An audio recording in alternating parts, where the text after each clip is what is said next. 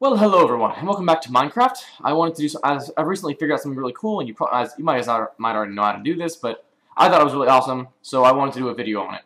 Uh, I recently figured out, uh, use, using uh, a mod I've got installed, uh, which you all probably know, single player commands, how to enchant objects by simply typing in a command. Now, I wanted to go over the fact that this can be used to enchant a lot of different items, not just weapons and tools and armor. It's like we'll get some diamond boots, and uh, we'll get, um, let's get a wooden sword and, and we'll grab a, um, an iron shovel. So, okay, so uh, you notice I've got a lot of weird stuff in my inventory right now. I've got an, an iron door and a wooden door and a uh, bucket, a saddle, a bow, a sign, and of course the diamond boots, this wooden sword, and this iron shovel. Now, you can use single player commands, pull up single player commands. Notice I've got some things on this. Flame 1 enchantment was added. It's a bow enchantment It can be added to anything, though. So I can enchant swords with things that would normally be bow enchantments, and vice versa. Um, also, you can enchant items like iron doors and um, and buckets and saddles. So, like, I can pull out this door, and so I want this door to be a door of knockback 12. So slash enchant, add. You want to add the enchantment to the um, to the to the item, and then uh, knockback, one word, and 12. Now you can go up to 100 without derping out. So um, for the record, feather falling uh, 100 and uh, actually allows you to fall from like 100 blocks high. Just you take about half your HP in damage, but you still survive the fall, so that's pretty awesome. How did that certificate get up there? You know what? I'm not even going to ask. Okay, so then you hit enter, and now this door is enchanted with knockback 12. And uh, we'll go ahead and we'll, let me switch, move an item here, and we'll grab a, uh, a mob egg out of here.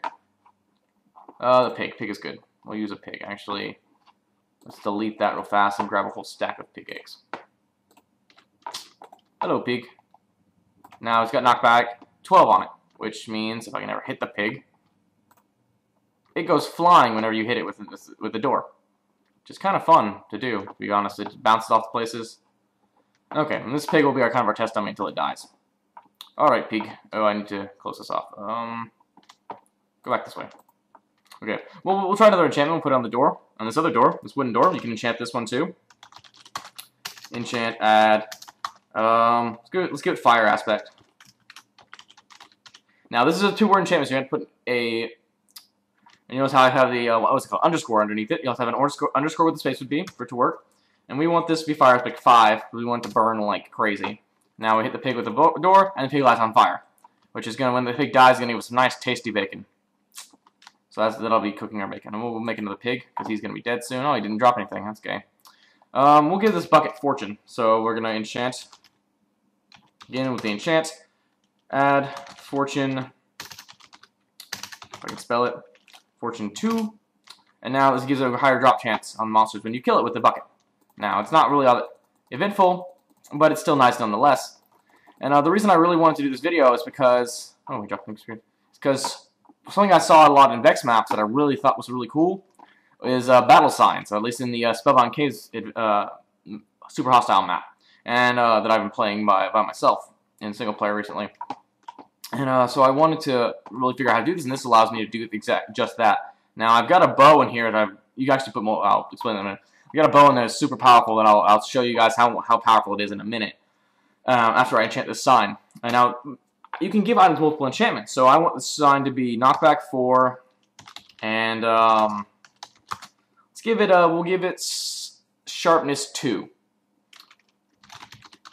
Knockback 4 slash enchant add knockback 2. Okay, so now this is a double enchanted weapon, and just you can give any number of enchantments you want. I wouldn't stack the enchantments, I don't think that really works. I haven't tested it out too well though, so it, may, it might actually work just fine. So uh, this, this sword will spawn another pig. So it's got sharpness 2, not, oh, I give it knockback, two, uh, knockback twice. Okay, so um, it's basically got knockback 7 now, so, or knockback 6, so it's to fly really far. Uh, I apparently messed up, so let's give it, let's give it uh, sharpness 2. Enchant, add, sharpness, 2. There we go. Now we'll give it more damage. Not, now we're not able to fly, but it will go away. And this is actually a really good opportunity to show you how to remove enchantments. You can't remove specific enchantments. You have to remove them all off and start over. So it's kind of bad if you make a mistake five or six enchantments in, but it's it's still helpful if you make it like one or two in. So it's enchant. Wow. Enchant. Remove. And that will remove every enchantment from your current item in your slot. Now, to make sure you enchant the weapons, the weapons and items, you have to hold them in your inventory slot, and they have to be like the one in your hand. So and so yeah, so um, I've enchanted some stuff recently that uh, just trying to be funny and stuff like that that I'm going to use in uh, some up upcoming series that I find to be quite nice. This is Feather Falling 4 Boots Protection. This is, this is my old enchantment boots. Uh, I don't know what happened to my new ones, so... Oh, no, I guess I got rid of them. I guess I'll, I'll just re-enchant these. And we'll grab, um... Where is it at? Is it not in that chest? It's in one of these chests. Hmm. It might have despawned. Well, uh, never mind. Then I had a I had a sign that I guess the sign changed back to normal. Uh, so be careful when you put these in chests. Apparently they might change things that aren't supposed to be enchanted might change back to normal when you uh, put them in chests. But I don't know. So um, we're gonna need to use single player commands right now because we need a big monster to test this out on. Uh, and I've tested before and it's pretty powerful. Now, this bow, I only need one arrow, because it's got Infinity 1, Power 10, Flame 1, and Punch 2. So it does more knockback.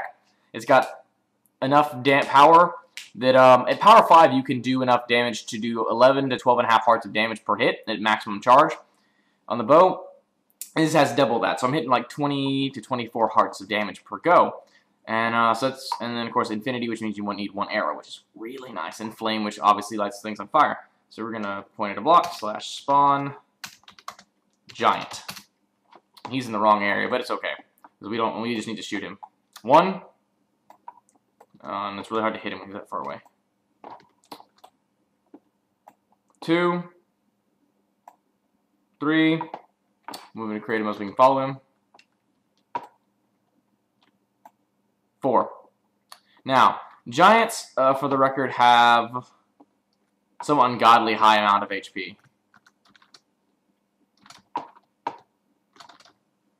And it, it, takes literally forever, even with a diamond sword, to kill a giant. And I just foreshotted it. So you can see this bow is just a bit overpowered. Um, and it will probably break sooner than rather than later, but I found that weapons is powerful. You don't have a use for them unless you want to be funny and use a battle sign, like I have been using, like a sign here. This is oh, this is my battle sign. Here it is. Knockback five, fire aspect five, power five, sharpness five. So it it's got both the the weapon damage enchantments for bows and swords, and basically I can use to farm mobs indefinitely with not having to worry about the zombies who take more than one hit because it's it does enough dam bonus damage with a sign that it's just murdering them. And that's how I'm getting a lot of the items that I'm enchanting actually. Um, yeah, so I've been playing around with this with this quite a bit. Hope you guys enjoyed this video, and if you have any questions, um, be sure to post a comment. If you liked it, be sure to like it. If it's your favorite video of all time, be sure to favorite it. And even if it's not your favorite video of all time, favorites are much appreciated. But yeah, so uh, if you, like I said, if you like it, remember to like and subscribe. And this is Gravyon, signing out.